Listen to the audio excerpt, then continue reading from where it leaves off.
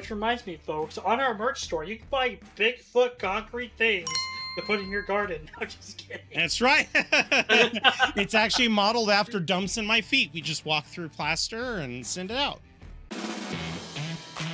State of Survival podcast, bringing you survival game news. Today, Jarl is going to be leading the episode once again, and I think this episode is going to be quite fun. Jarl, what's in store for us? Well, I have been researching an upcoming tonight, title that I'm super excited for, but you know what? Before we do that, let's go ahead and find out what our team is up to. Uh, I, for one, am looking forward to a normal stream schedule, which has been very hard to achieve the last three weeks. So we've got Dungeons and Dragons tomorrow night at 6 p.m. Pacific time. Uh, after that, we've got a DayZ stream with the podcast gang here. On Friday, we're going to be playing modded Fallout 4, where I have a 942 mods installed. Saturday, we're going to be playing Fallout Aurora. And then after that, we should be playing more Space Engineers. So I'm looking forward to a really good week. so, Red Falcon here. Um, I've been Let's see. I released a uh, a new heli about a week ago, the uh, UH-1H, um, and uh, so that's been pretty popular. So doing a little bit of tweaking on that, and I just finished a build out on a Sikorsky S76 with a fully functional cockpit. All the gauges work, um, so that's pretty nice. fun. And then playing as part of my quote unquote research for a video I'm doing about uh, five survival games that we recommend been playing a fair bit of Rust. Uh, going to be shifting to. Um, oh, what am I doing next?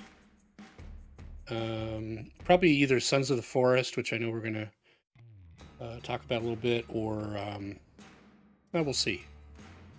That's that's been okay. my my life. Sweet, sweet. Now you do know we're going to be playing DayZ Thursday, Red, and I just want to make sure you're not going to be too rusty. Oh, that's so bad. Actually, I will because the action button in Rust is E, and the action button in DayZ is F, as we all it's know. F. So, yep. yeah. So I, I always get a. I'm I'm hitting E, going nothing's happening. Why can't I open this door? Mm-hmm. Oh, oh stupid Rust. oh, that, that, that really sucks. Uh, folks, can you we can we get a couple of Fs in chat for poor Red Falcon here? Wait, F or E? uh, or you know what? Just let's do both. One of them will work. and how oh about you, Dumpgrah? What's been going on in your neck of the woods? Well, in my neck of the woods, I finally finished my almost, I think, three and a half month to four month long TMS treatment. I am finally happy that is over. That's like 32 miles a day I'm no longer having to drive. So, whoo! Thank gosh for that. Man, that was definitely a, definitely a hurdle. Uh, but I'm also started playing Elden Ring on my Twitch channel, and folks, it was a lot of fun actually playing on PC. I tried to play Elden Ring previously, but you know what? As much as PlayStation Remote Connect or own home network is cool, the latency between my input and the PlayStation literally right next to my desk just didn't work. Or actually, it's on my other side of the wall. I literally could like smash my head at my uh, PlayStation but um, it was just too much. So now I have it on PC, and it is amazingly easier to play. And I got the War Pick, so that's really cool. Can't wait to do a full playthrough with just the War Pick. But in other news, speaking about DayZ and playing it on Thursday, I have officially lightly monetized my YouTube channel. What the hell does that mean, folks? It means that now I can have super chat, YouTube memberships, and so many other little cool things of my own self revenue. Doesn't mean I make money from ads from the YouTube ads that play on my live streams if they do, but it does mean now if you people wish to, they can become part of my members. But we'll talk more about that Thursday if you guys drop by. But other than that, that's kind of it for me. All right.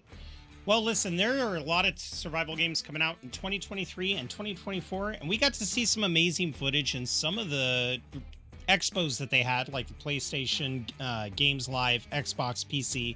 And a lot of them are really amazing because they seem to be breaking that trend of being zombie survival or horror survival. There's a lot more exploration going on with fantasy as well as realism. So I'm looking forward to it.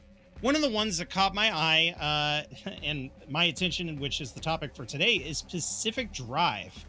Um, but some survival games early released in 2023 have also seen some attention.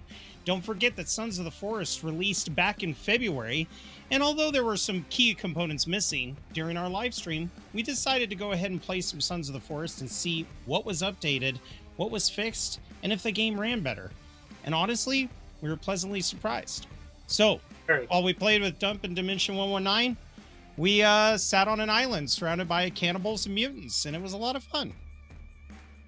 Uh, All right, well let's let's go ahead and cut over and talk about our highlights with the live stream. What do you think, Dump? Oh yeah, I think we should definitely do that. So one of the things that I struggled with when the game first launched was that you had to have a host on your friends list that played the game uh, that you could join. And the problem was it can have up to I think 16 players. We really didn't push the envelope that far, but man, it was duty for performance. And I was kind of alarmed at how much of a drag it was in the very beginning. Uh, usually it only happened when you were falling off a cliff and traveling a very far rate of speed. But it was still so amazing to see how well the game actually happened to run. Um, what did you think about, you know, the stability performance updates on your end? Did you notice a difference too much Uh, are you talking about when we first started playing, or this last uh, time? compared to when we compared to when we first started, and then when we played after they had released those updates? It was definitely a lot smoother, a lot less. Uh, I would say input registration lag. So, like, if I swung an axe, my client would say I hit it, but the thing wouldn't react at all. And it seems a lot better this time, where it didn't happen pretty much ever. I think it was pretty much always instantaneous. So I think that's actually pretty nice that it was able to do that with. Uh, yeah, it was three of us playing, if I remember correct. And that was a lot of fun. Yeah, there were three of us. We normally played with four before, so I wasn't expecting a huge impact. But like you were talking about, the input lag and the stutters, that was what was really getting me. Uh, if you were working and you felled a tree and it knocked other trees down, there was that momentary stutter. It also didn't help when you were being attacked by a small army of mutants having that stutter because there were a lot of times that, like you said, you'd click to swing that axe, but then the big guy would just backhand you and you'd go uncon because it wasn't registering the hit.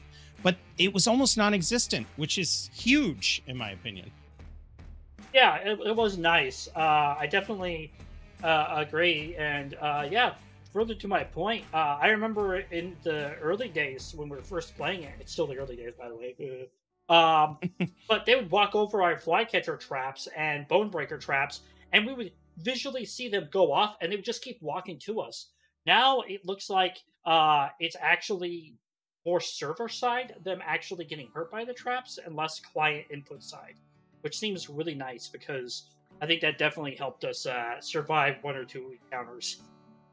Oh, absolutely. I mean, there were even times when Puppy and I, we would know, oh, if you cut across the fly swatter trap here, you won't get hit by it. Uh, and then when I tried doing something similar with the traps we set up and ended up getting impaled pretty good.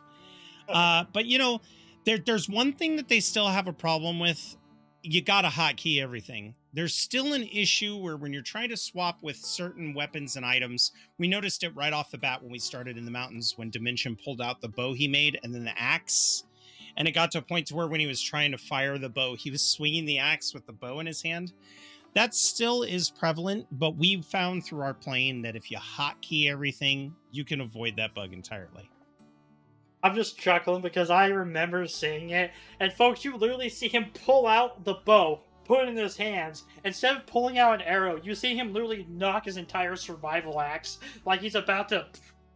yeah we talked about how funny it would be to shoot tools at people uh i i did have a commenter on my chat say that the reason why that happened is because he didn't make any arrows so it confused the system but even so that's a very weak excuse you know i can't even imagine another survival game where if you happen to be out of bullets and try to pull the trigger all of a sudden your knife is pulled out and you're sitting there on your gun that would be very wonky but uh, it was still a very pleasurable experience I, I want to say this, and I'm going to say this with all the love to DayZ, but that sounds like a very DayZ bug to have happen. I didn't say it, but I felt it. hey guys, I found an SKS. Is there any ammo in it? Click. Dude, did you just shoot a teddy bear? No. Uh, moreover, one of the things that I would like to talk about with Sons of the Forest is the features that they've added. When the game first came out and we were actually playing with uh, Puppy Blue, you and I, we would go to the water and you could drink from the lake and you wouldn't have to worry about getting poisoned because there were no water catchers. So there was no point in making the water poison. Well, now it's poison just like it was in the forest, which was kind of a shock and surprise when we were in the mountains trying to get water. And it was like, why is it hurting me? Uh, I also noticed the cold weather and being too hot also damages your health and your energy, which was such a nice change. It's such a good update because it really makes it feel more survival than it did before. Because uh, we crashed in the mountains. We also Yeah. got to play with hang gliders. Well, you and Dimension did because I couldn't figure it out at all. I I don't know what Dump saw. What I saw was I jumped off the mountain and just went yelp and then nose dived into the rocks. Okay, I'll be fair. I want to say there's an elaborate story about how Yarl epically failed. Folks, all I did is see him jump off a cliff in the dark, and then I hear him complaining. It hit the ground immediately. So there's not much of a story there. But me and Dimension got it pretty quickly. Dimension being the new player who'd never really played it because his PC kept crashing because it was actually Mhm. a laptop. um, no. Yarl's a pro player, I swear. Just like he's a pro streamer. No, no, not at all. Actually, it's so funny too because I got the hang glider and there was that moment of like, oh crap, is it inverted controls or is it not? I'm going to assume not. It was, which is good. If you Ah, have flight controls, they should always be inverted. Uh, but also, water collectors are in the game. So uh, when I ended up getting kidnapped by the cannibals and escaped and got all those turtle shells, that we were able to build water collectors and it was great. Um, so now we have that. Now there's a reason to have the canteen because you can't just go to every water source and drink from it. So now we're desperately going to be looking for that. But more than that, what I'm super excited about, it was a shot in the dark because we were all starving to death. Dump goes, I'm going to try to build the fish traps and see if they work now. Because before, when you built the fish traps, you could build them, but they didn't catch any fish. And poor Dimension and I are on the beach hunting seagulls. That's how desperate we were. and Dump goes, Oh, the traps are catching fish. It was an amazing revelation, and it definitely changes the game because it is hard to get food now. Yeah, I mean it, that is it's very very welcome change because fish is actually pretty damn good wise. Um, it's really cool. I love the animations of eating fish, especially when they're alive. They're all wiggling. And you're like, my precious. So even when you even when you cook them, they're still wiggling. It's so weird. Yeah. Oh man, it, it's really cool. I would have to say, I hope they make it so what um, drinking dirty water is a loss over time of the health instead of it being instantaneous. Right. So it'd be cool if your guy drank it and was all like, ugh, and then like you saw the uh, part of the health bar fade away. Just like when you take uh, medicine and stuff, there's a faded health bar area that shows what health you're going to regenerate. It would be cool if when you did something bad for your health, it would show a, a part of the health bar faded, like it, it's going to go away eventually. Um, because I find instantly losing health because I drank dirty water to be okay, but I think it could be better if it was slowly loss of health. I couldn't agree more. When we were when we were on the shore drinking water, all three of us, because we were desperate, hearing the oh, oh, oh, oh, oh, of all of our characters groaning, it was getting so Oh, down. annoying. And I couldn't figure it out because in the first game, if you drank the bad water, if you ate raw food, or if you ate human meat, there was a chance that your character would go and throw up on the ground, and then you would lose water and hunger. Bring that back. That worked so well. It really did. Uh, but my favorite thing was watching Dump, who, by the way, perfect character for you. It looked so much like your DayZ character, the Mr. Feeney. This old guy with an Einstein style comb back and a thick mustache. But he figured out right away that you can build with rocks now. And that's huge. Oh, I'm so excited. I was rocking it. Well, you know what? This hot weather has me sweaty. And in speaking of hot weather, let's take a look at our hot takes.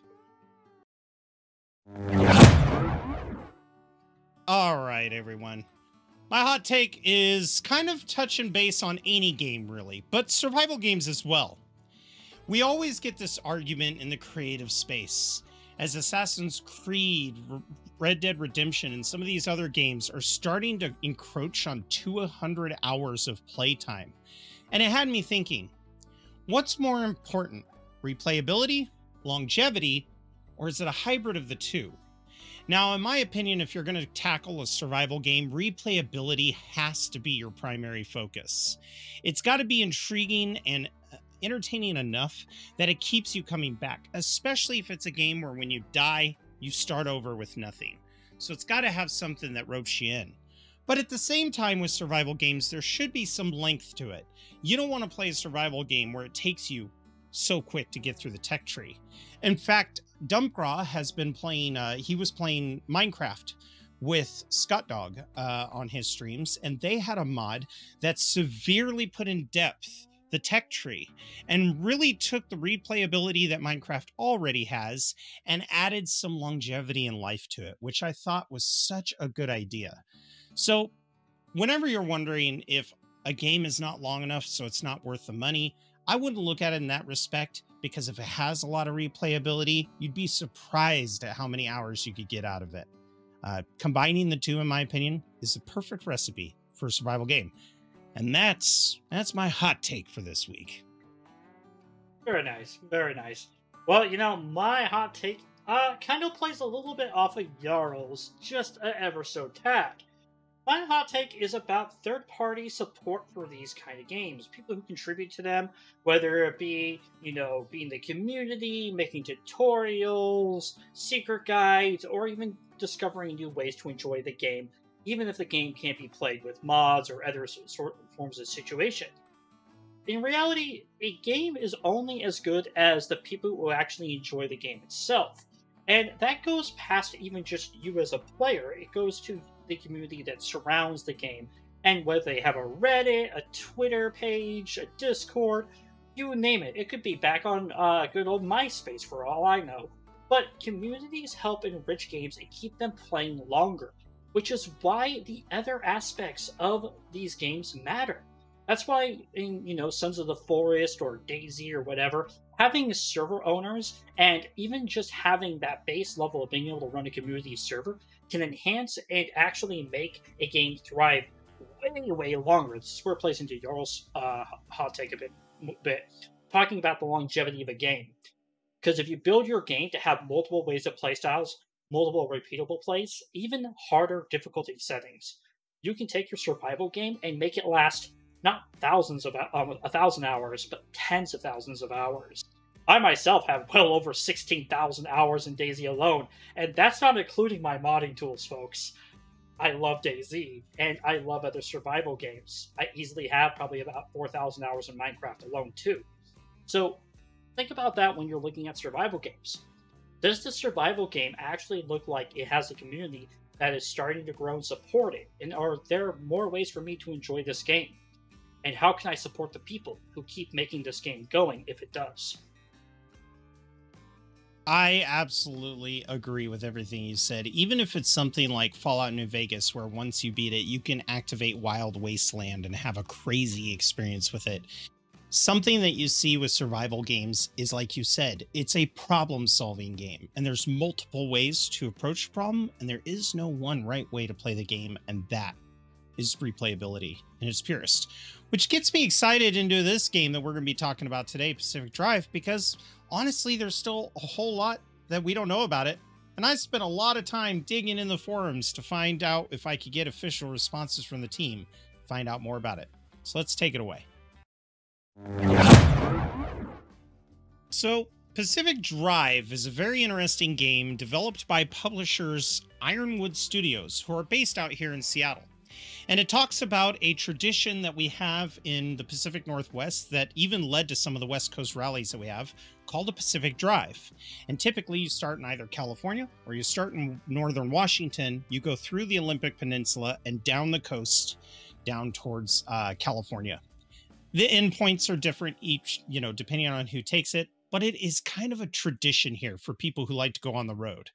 And the developer of the game loved his station wagon so much, he wanted to tell a story about that, create a survival game with it, and of course, add the little bit of cryptid history that Washington State has with Bigfoots and aliens into the game. Uh, this is a run based survival adventure. So basically, you're going to be traveling in the Olympic exclusion zone. Several years ago, something weird happened here from the abductors. Not a whole lot of information on who they are yet, but it's kind of signaling aliens. Kind of. The entire Olympic Peninsula has been rated off limits from the government, but adventurous people still want to take their Pacific Drive, because that's part of the culture too, driving where you're not supposed to, and also gather technology for wealth and riches that have been left behind in that zone. So you take your car, you drive out there, you have to avoid all the storms while you're out there and gather up parts to either upgrade your car or hopefully make some money in the future. The interesting thing too is you do have a base of operations in an abandoned garage. On the outside of the garage, you can see signs that say, feel free to take whatever you want, never coming back. So there's a lot of that life of people who just dropped everything and evacuated. But here you are in your circumstances. You are stuck here, and you got to figure out your way out of the Olympic exclusion zone. But you can't just drive out. You have to go gather supplies. Much like a roguelike run type simulator. Anytime you play a game like this, the general premise will be you can't just leave until you get to a certain point. That certain point is totally up to you. You can attempt to leave at any time, but it's more the exploration of the world, the building and crafting to try to get out of the zone. As you gather precious resources and investigate what's been left behind in the ruins, you are encountered with a hostile environment, hostile enemies, as well as the potential of upgrading your vehicle to make it last better. The game was announced in September of last fall, but uh, it's scheduled to release on PlayStation 5. That's the only console that's getting it, and on PC for Steam and Epic Games. So it's definitely something to look forward to if you're either a PlayStation player or a PC player. Now, the question we have for the community is what are your thoughts? Does this game seem like it will fit well with other solo survival games like Escape the Pacific or The Long Dark? And what do you look for in your solo survival experience? In the meantime, we'll go ahead and cover more of the game and see if that helps answer some of the questions you might have. So, the setting is here in the Pacific Northwest dump, which is kind of interesting because there are games that are made here in the Pacific Northwest, such as Last of Us 2, but it always seems like they kind of miss the mark on what it's actually like to live out here, whether it's just the the way that the nature looks or anything. When you think of a game that takes place in Pacific Northwest, what are some key components you're looking for? Um, I'm looking for a lot of I would say kind of forester hiking trail kind of modernization. And what I mean by that is that there when you go through the woods almost anywhere in the Pacific Northwest, there are arcing uh, there are hiking trails, there are tons of stuff because the people of the Northwest are constantly tread treading new hiking trails. And folks, if you don't really know what I mean, is you can tell once somebody has done a hiking trail because it's almost like a deer trail. The bushes cover it really well, but you can see that there is almost a semi-flattened path. You often see it when you're out hiking and you can see just barely a small path leading through a bunch of bushes where it's not so thick. That's kind of what you see. And that's kind of what I expect to kind of see in the Pacific Northwest setting is while you're running through this urban, I mean, there's forests and all that stuff, you also come across paths people have taken quite often and stuff. And it doesn't necessarily feel like it's roadways, but it definitely feels like you can follow these paths and it will eventually take you to a cabin. Maybe someone set up a temporary camping site once or twice. Maybe there's a place people like to go and go dredging, which is like gold mining, looking for flakes inside the stone a bunch of other things. Uh, it's really interesting the amount of places you can find and sometimes accidentally come across moonshiners. Uh, that's a story for another day. I've done that a couple times. You know, it's funny you bring that up because that's one of the reasons why I like the fact that they chose the Olympic Peninsula. A lot of people don't realize this, but in the Olympic Mountains, we have one of the largest rainforests in the United States. And it's such a weird rainforest, too. If you ever get to see it, we don't have mangrove trees, but the water is so prevalent there that the tall trees will grow roots 15 feet up in the air that sprawl out into the ground with swamp like moss hanging from it. So, sure, there's Very trails, there's old gas stations, there's old hiking, like you said, campsites. But at the same time, because it is a rainforest, nature is able to reclaim those areas rather quickly. So, since the exclusion zone has been abandoned for a few years since the last storm event, it's going to be fun seeing that. I call it like the Jurassic Park experience when you watch The Lost World and they're like, Where are we? And they kind of clear out the sign, and then you see, Oh, Jurassic Park Site B. It's like, Oh my gosh, you're there. I cannot wait for that. When you see a strange alien structure and you wonder, Is this alien or is this human? Clear aside the brush, you realize it's just some dude's old fishing shack. And I'm really looking forward to it. Um, and especially with that area being so big into Bigfoot and, and cryptids, it's going to be fun seeing a lot of the posters of like, ah, Sasquatch and all this weird stuff, which clearly we Washingtonians are like, yeah, that's a tourist trap. That's not real. But with the exclusion zones events occurring, it kind of makes you wonder has this been a problem for a long time and we were in denial? Yeah, you're totally right. Which reminds me, folks, on our merch store, you can buy Bigfoot concrete things to put in your garden. No, just kidding. That's right. it's actually modeled after dumps in my feet. We just walk through plaster and send it out. Yeah, because he's out there. He is very, very hairy. Uh, my other favorite thing about it is isolation. I think that's one of the things I like about the Long Dark. It's not that people just decided not to live here. Something pushed them out, whether it's bad weather or an event, or in this case, a mandatory government uh, evacuation. And a lot of the signage that you see in the trailers and such indicates that it was kind of a forced evacuation. It was, you are no longer allowed to be here. And when you look at a map of the Washington state, and you could Google this online, West Coast federal forests, it's crazy how much of the land is federal land. So when they tell you to get out, you have to get out. And for those of you who don't know the Olympic Mountains, who don't know what we're talking about, Forks is actually in the Olympic Peninsula, and that is the town that was featured in the hit book and Twilight series, or hit book and movie series Twilight. Yeah, I'll get it right. I'll get it right. I sparkle. You're a vampire. Uh, so dump is is isolation something that attracts you in survival games, or is it something that detracts you from survival games? Yeah, I think it actually attracts me to a survival game. Now, don't get me wrong, I like finding occasional NPCs who I can trade stuff with, but I also like the fact that when games make it so those NPCs don't stick around or could die. Um, but isolation itself really gives you a sense of this is it. You are the last stop.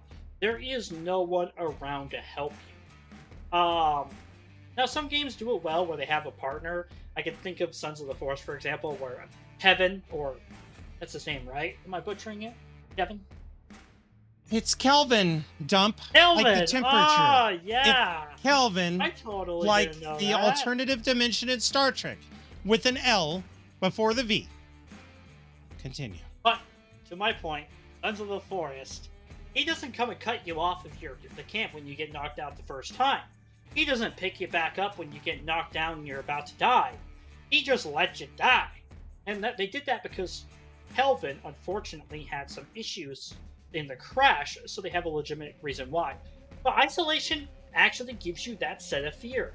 It makes you worried about you are the end all. If you don't find enough food, there's no one to rely on. Don't find enough water, there's no one to fetch it for you. You get stuck trapped between a saw blade and a bunny rabbit that explodes or something Bob, on your car. well, guess what? You gotta figure yourself out of that pickle.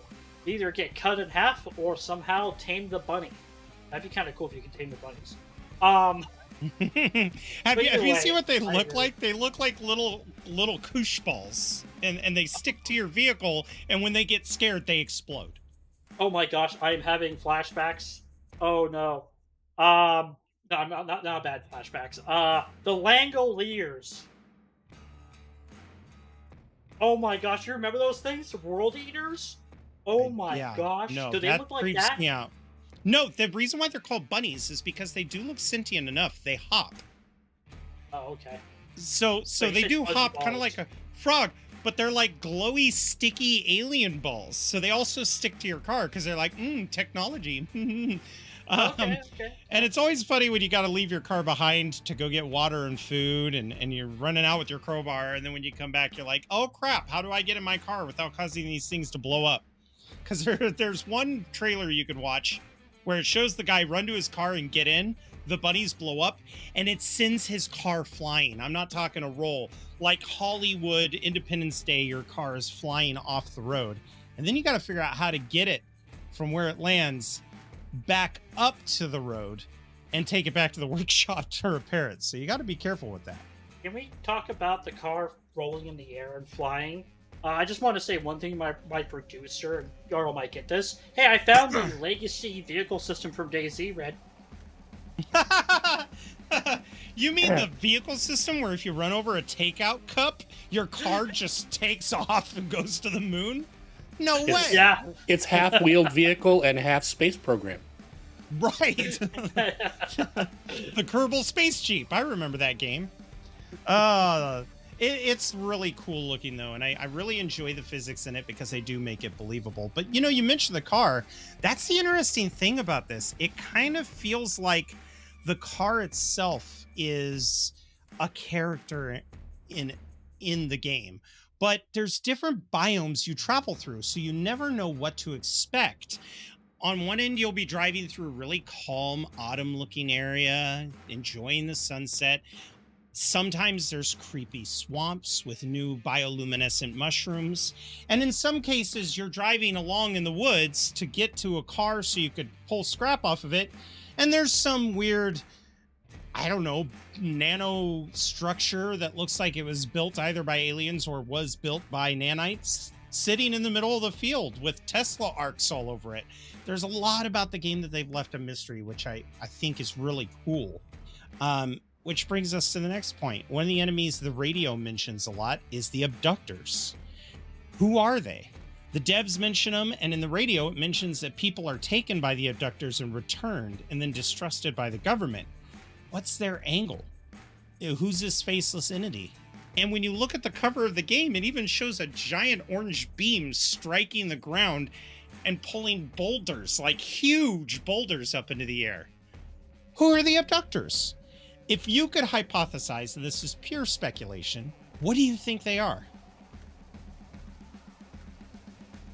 So, uh, they could go two routes on this. I did see the graphics of this, so I don't think they're going to go the cheesy route of Mars attacks.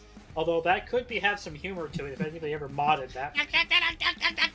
yeah, um, but I could see it actually being very creepy. Um, now I'm actually a little bit of a fan of Alien stuff. I don't believe that aliens did all this crazy stuff, but it is interesting some of the more darker side of this stuff. Uh, like the so-called aliens that we know, who we think are green, are more actually considered gray. I don't know what their color really is, but they're actually very, according to most whatever, uh, are very evil, very mean, very sinister kind of things. They have needlepoint teeth. They're very ominous. They're almost able to easily sneak behind stuff because they're so skinny and stuff. And Mhm. I can almost see the abductors being this gray man theory creepiness level, where it's not necessarily they're here to pro- uh, probe you or do experiments on you. That no, they're here to take you, and you're never coming back. It, Yeah. it it's definitely it kind of puts chills up your spine thinking about there's something that people have over time already created kind of a lore and history of that actually can be in this game. And I'll tell you what, if I see little green Martians from Mars attacks, I'm gonna laugh my head off. But if I see the gray men act like some of these alien astrologists or whatever they call themselves. I'm not. I can't remember your guys' name. Don't take offense. Um, if I if I see them, if I see them in game based off of what they have described on like Discovery or History or even on some of the YouTube channels I've seen, I will like get chills up my spine and shut down the game. Like, nope, because they I agree. I think the other thing, I think the angle they're going to go for is that you never see them. The storm that you're running away from is actually their giant beam that is sucking everything up. And like I said, there's five biomes with your warehouse stuck in the middle. So it's not just a, oh, the storm's come, we can't go back there. There's a certain, I guess, a radioactive period, but you can return back to biomes after a storm has passed. But from the color of the beam and the logo, from seeing how terrible it is when you're trying to race away from it, it really does seem like uh, something that maybe not so we're here to kill you as much as it's a mining beam. I almost feel like, especially in the Olympic Mountains, what if they're here taking samples and they're just like, ooh, look at all this plant life, you know, and that we're just a tiny little insignificant animal? which is interesting because when you play the game if you do have to hunt animals for food you're no you're treating the squirrels and the rabbits no differently than these abductors are treating you which is kind of a a parallel who is it for us to say that that's not fair and it's wrong when we're scooping up animals and eating them That is interesting. You mentioned that it's like er, slightly irradiated, so you can't go back and stuff. I wonder if that plays into maybe the theory that you're saying they're testing stuff. I wonder if Yeah. uh, maybe it's a big test tube for them. maybe it's the That's government you Could know because the be- government could be seems excuse why they pushed everyone out so quick. right? Like maybe this is a mistake, and they're like, "Uh, oops." but By the way, back folks, to the other we'll character. about okay. Pacific Rim. Oh, We are We're still talking about Pacific Pacific Drive. If it was Pacific, can you imagine that? You're like, well, you have to build your own car, and eventually you get your own mech so that you can go toe to toe with the abductors, like kaiju. but that's the interesting thing. The dev talked about the car, and you know, whenever you do the Pacific Drive, it's never in a really nice car. It's always in that car that you've souped up for long travel. And one of the things that they talked about is they want the car to feel like your only friend, like your companion. And we've played games like that where your com- uh, Star Wars does it a lot, where your companion is a droid that you cannot understand, that is an artificial intelligence. So does it have feelings or not? But either way, we still kind of treat it that way. And one of the things I was talking with the people in the forums about, because they're like, I don't really see how they're going to be able to create this emotional attachment with the car. When I was working at Best Buy, we had people bringing in their Roombas that sucked in dog poop. They would not buy a new Roomba. They named their Roomba. Like they got attached to their Roomba. So I absolutely can imagine getting attached to this. And although those of you who are listening to podcasts might not be able to see this, but in the picture we have here, you're arriving with a gas tank to a station wagon that is literally stripped down to almost the frame that you have to fix up in this garage to drive around, which I think is really cool. Um, the car, the car's a tool. You can upgrade it. In the end, it ends up looking like the Ecto One from Ghostbusters. It's so cool, all the different things you can get, and it doesn't look like oh well, we Men in Blacked it. We we went and got like 22nd century level technology. No, this really does look like a redneck was sitting there going, you know what? I got this spotlight that has a motion sensor on it that'll track anything coming up to you. It's such a good idea that they've had this real advanced technology but homemade look. Yes, Dunk. I know what's wrong with it. Ain't I got no gas in it? in it. That's for you, puppy. Uh, That's for you. Uh, so, w- the thing that I want in a game is a little bit more realistic on the mechanics and upgrades. If we're going to have to fix this thing, if we're going to get emotionally attached to this car, I, I don't want it just to be like a, oh, I want to upgrade to a level four spoiler, kind of like in Ghostbusters when you upgrade your photon pack. That's cool and all, but I really want to actually do the repair. What are your thoughts on it? Uh, yeah, I, I remember showing me a video about this, and the guy really said he wants to give people the impression that they're actually being a mechanic. Obviously, not into such detail as cursing it out because a bolt won't bust loose or whatever, but to the level where you actually feel yourself accomplishing the exchange of parts, and you can see visibly the car being upgraded and stuff because you're getting kind of nitty gritty with it. Um, and I actually can see that being playing out really well because at the end of the video you showed me there was a bunch of different configurations they were showing you know every like uh, half a second you know one after another and it was really cool to see all the possibilities as well as them actually showcasing kind of replacing the parts Oh yeah, replacing is a big one because if your car takes damage, you have to replace the part. Um, it's not like you can you can just hammer it out unless it's the core panels. But more to your point that you had mentioned earlier, multiple ways to solve problems. I see us looking at the next biome in the exclusion zone, like the, the slime biome, I call it. It's very swampy, very like bioluminescent green radioactive goo popping from the enemies. And one of the things that I thought about was dang, you might actually have to pre plan upgrading your car before you go there. You may have to go back to the shop and find out what parts you need and then head back to a zone you've previously been in where you remember seeing those parts and then bring them back to the garage and build. And that's such a cool idea. Um, I think that'll add a lot of longevity to the game, even though there's not a whole lot to it from, you know, just looking at it from the surface but I think it gives you that way of problem solving. It's like, okay, in order to get out, I need this core component. But in order to get this core component, I need to at least build this component so I can go into this biome to gather the resources.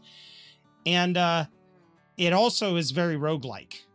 So if you make the wrong decision and you go out there and your car breaks down, you can either start over or even, you know, have to try to troubleshoot on the scene. So, my question to you is Would this make an intriguing survival game to you? And what survival elements do you see in this game or you would like to see this in this game that you think would make it a ton of fun?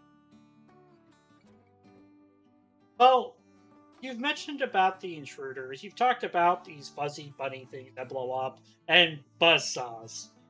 Um, now I know and I hope that there's a lot more environmental threats, like accidentally going to a tree, rolling down a hill, blowing your tires, that kind of stuff. Things that punish you for poor maintenance on your vehicle. Because I don't want to see a game like this where they say your car's a tool, and you develop a friendship with it, and then you can drive on your tires for 500 uh, miles and never have to worry about blow, blowing them, uh, driving over a sharp rock or whatever. Um, because wear and tear on a vehicle is very extreme in a lot of these situations. Even in real life, people don't realize how much wear and tear goes onto a vehicle, how much it actually costs to keep it upkept if you are a off-roading fanatic. Which I'm assuming in this game you're going to do a lot of off-roading. So axles, having a wheel, a wheel alignment, tire wear, even uh, making sure you don't constantly bottom out and destroy your oil pans and stuff are all very important things.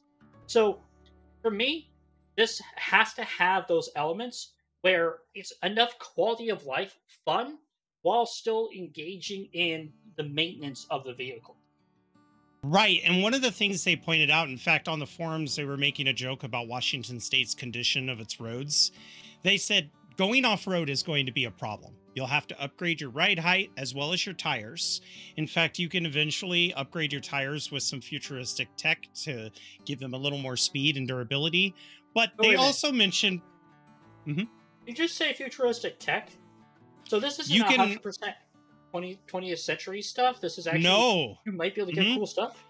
You start off like getting uh, stuff from cars, like better tires. They did mention potholes can put you out of business. you know, because uh, they were making comments about the road conditions. But the idea is when you see these alien structures, you could whip out your crowbar or whatever weapon you have at the time, run from your car, and try to salvage stuff from it. But it's also kind of like a puzzle solver. How do you turn it off? What do you salvage? What are you looking for?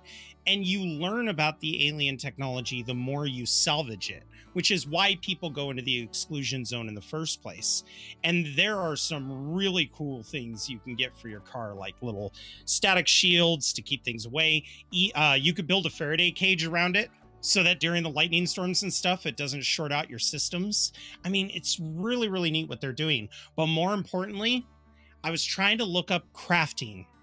You're not just building your car, you start off with a crowbar. And when you go out and you see some of these structures, you're like, mm, this crowbars ain't going to cut it. I'm going to need something better. And uh, for those who are listening and not watching, we actually have a screenshot up here of the game where they've built a giant grinder tool out of spare parts. And my favorite thing about this is it's got a vice grip holding everything together. Like, I, I love this red green style problem solving. Uh, but I would imagine even those tools use fuel. So you gotta you gotta play it smart. You're not just upgrading your vehicle as much as you are the gear that you carry around. No, that, that's totally right. That's totally right. Also, Devs, if you ever listen to this, can we have a nod or an Easter egg of an orange crowbar, please? that would be amazing. Because there's aliens, there's a crowbar. You know There's what I'm thinking, yep. folks. and if there's a guy who comes up to you and goes, I didn't mean to insinuate you were sleeping on the job, I will poop my pants and be over the moon. Now, one thing I really hope for is I know there's not any contact with humans, but it would be interesting to get radio chatter of maybe other people who are out there who get totally iced by the storm. And then if you know their general proximity with your radio, maybe you can go look for their remains and take their stuff.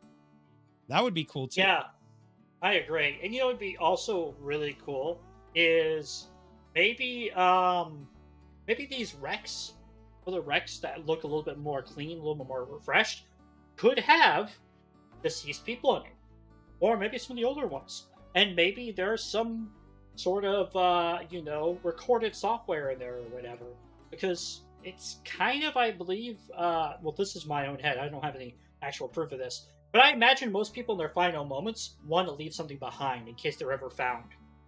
And it'd be interesting, it'd be kind of like a cool way to introduce some lore. Maybe give the abductors something a little bit creepy about them. Like, you know, kind of like a.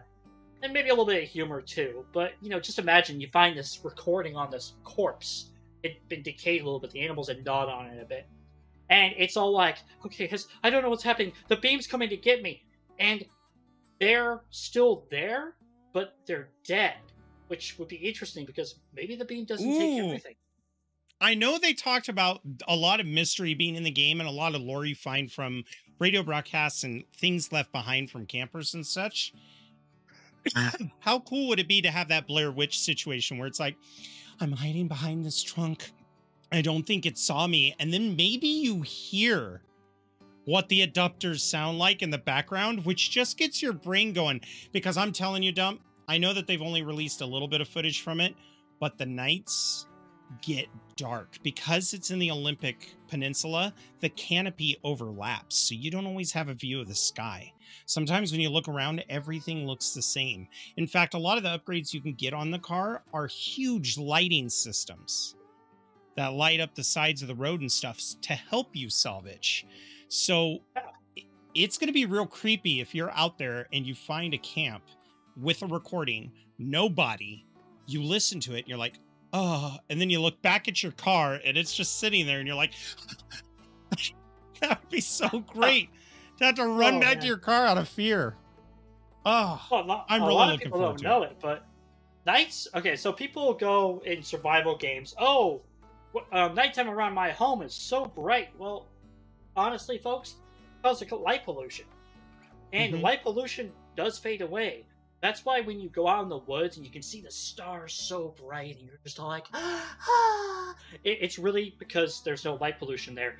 And campfires don't give off don't give off the same light pollution that our fluorescent LEDs and other lights Right. do. Uh, think of a noise filter on your video game, where you know the image gets really noisy. There's a lot of white specks.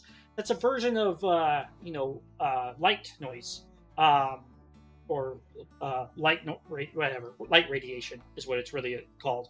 But yeah, so when you're out there in the Pacific North of the Olympic Peninsula, even now, it gets pitch black in between, you know, truck stops and all that kind of stuff.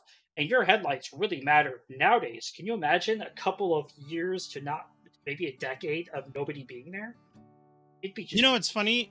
It's funny you bring that up too, because if you look at some old paintings from the medieval ages, and even in Vincent van Gogh's day, people in those eras used to be able to look up and see the galaxy perfectly. And one of the reasons why I was so excited about DayZ 1.21 is how they handled like campfire light and how the how the headlamps fall off. Because, like you said, the atmosphere is full of nitrogen gas and water vapor. And even though you don't see a fog, there is a fog in our atmosphere. So, come to a certain point, campfires and flashlights have a hard time penetrating all of that stuff that's in our atmosphere and don't go very far. But the frequency of fluorescent lights shoot out really far. And one of the reasons why the Olympic Mountains is my favorite place to camp is even though Seattle is just right across the sound, there is no light pollution. And when you're camping in your tent, you have to pee and your campfire's out, you open the door. If you do not have a lantern, you can't see anything. And honestly, I don't take a lantern when I go out to pee because that's even worse. When you're holding a lantern and you step out of your tent in the Olympic Peninsula, you can't see anything beyond the light of the lantern. It only it lights up around you, but you can't see what's in the dark. So I just I just pee in the dark. Well, bless you, because I don't know about you, lantern or not. I don't know where I'd be. you just have bottles in your tent. You're like, well, I guess one less water bottle won't hurt. I just aim and hope. I thought, the, are you one of those where you just unzip the tent and you're like, ah, it'll dry up by morning? I, I aim for my buddy's campfire. That's Pro terrible. folks. Don't do it. It smells terrible. If you actually are camping, by the way, you can get a little portable urinal that'll go through the window of your tent if your tent has zip windows. That way, you or your lady friends don't have to leave uh, the tent. So, fun fact. Uh, but yeah, let's go ahead and hear from our reporter on the scene who's in the Olympic Peninsula right now. Uh, Dave, do you read? I, I know you're in the Olympic exclusion zone. Are you are you there? Hang on, let me change the frequency. Ah, he's coming through. Okay, Dave. Yes, we hear you. How is it over there? Are are you able to avoid the storms?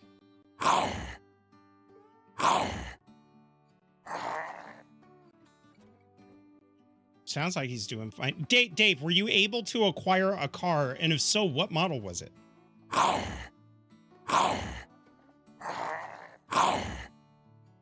I, I didn't catch that dump. What model of car did he say he had? Uh, he said he's infected, so he can't drive. So you're just shambling through the exclusion zone. What if you get abducted? Well, if he gets abducted, dump, at least we have Earl as backup.